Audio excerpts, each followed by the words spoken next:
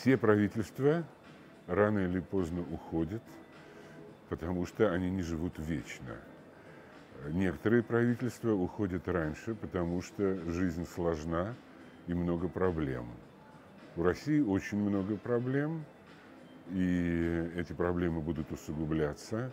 Поэтому смена правительства неизбежна. Следовательно, утверждение Медведева, что его правительство рано или поздно уйдет, это очевидно и банально. Я думаю, что оно уйдет скорее рано, чем поздно. Ну, хотя бы потому, что наша экономическая ситуация ухудшается и будет ухудшаться дальше. Сейчас мы столкнулись с падением производства, а столкнемся и со стагнацией по полной программе. А что касается нынешней, нынешних кадровых изменений, они пока никак не связаны ни с идеей смены правительства, ни с идеей а, каких-то кадровых усовершенствований. Это такая мелкая политическая возня, не более того. А, если говорить о том, что нас ждет, в смысле смены правительства, то ждет, конечно, полномасштабная смена.